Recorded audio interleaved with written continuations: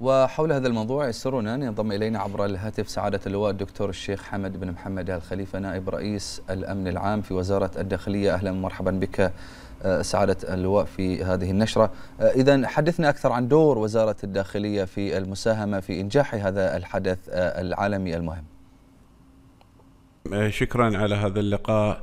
طبعا بتوجيه من سيدي معالي وزير الداخلية تم أخذ جميع الإجراءات من قبل الإدارات المختلفة وزارة الداخلية سواء كان في الجمارك أو الهجرة والجوازات والإدارات الأمنية والإدارة العامة للمرور.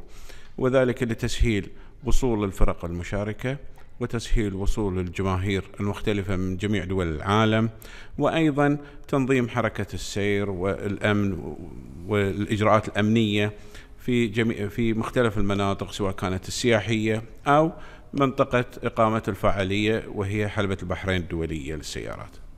نعم سعادة اللواء ما هي استعدادات غرفة العمليات والإجراءات الأمنية داخل حلبة البحرين الدولية لهذا العام؟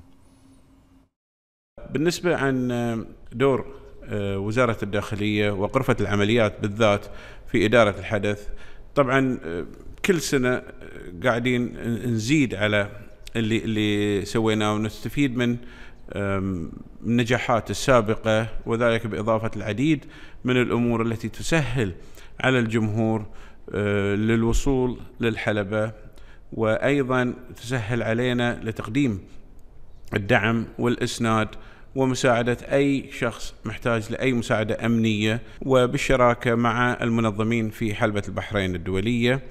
وتم نشر كل القوات سواء كان من آه، الإسعاف الوطني أو آه، الإدارة العامة للمرور وذلك لتسهيل الحركة والوصول والخروج من الحلبة ومساعدة الجمهور في أي حدث طارئ كان. نعم سعادة اللواء الدكتور الشيخ حمد بن محمد الخليفة نائب رئيس الأمن العام في وزارة الداخلية. شكرا جزيلا لك.